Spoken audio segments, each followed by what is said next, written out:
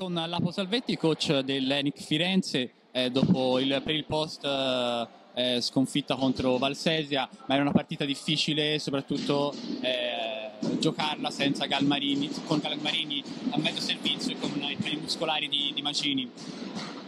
Eh, sì, eh, i problemi, i problemi fisici di Galmarini e Macini sicuramente ci hanno condizionato, però eh, non possiamo dare 38 rimbalzi a 21 per Valsesia, è impensabile per noi poter competere con una squadra di questa categoria se subiamo così tanto al rimbalzo. Quindi Valsesia penso abbia vinto meritatamente, anche perché la nostra percentuale al tiro da tre punti è stata totalmente sufficiente. Quindi direi che bisogna cancellare velocemente questa, questa partita, mettersi sotto, allenarsi bene in settimana per cercare di fare meglio sin da domenica prossima.